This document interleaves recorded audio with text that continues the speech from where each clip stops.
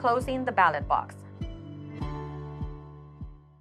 Record the seal number from the emergency bin slot on the applicable line of the closing polls, register official seals, and proper installation form. With the large front door unlocked and open, remove the gray ballot bag with the voted ballots inside.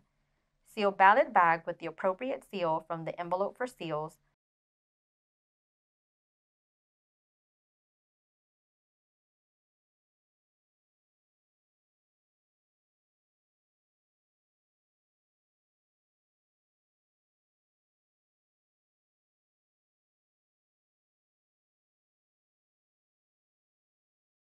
Record the seal number on the applicable line of the closing polls, register official seals, and proper installation form.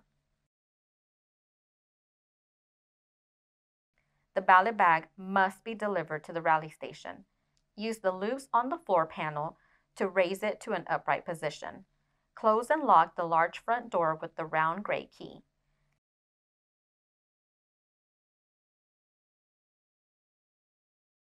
Lift the lid and bring it over the large front door.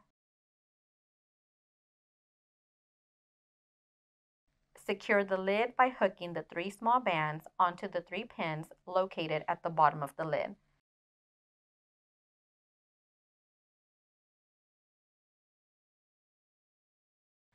Carefully push in the sides of the box to collapse the unit and latch the four clips.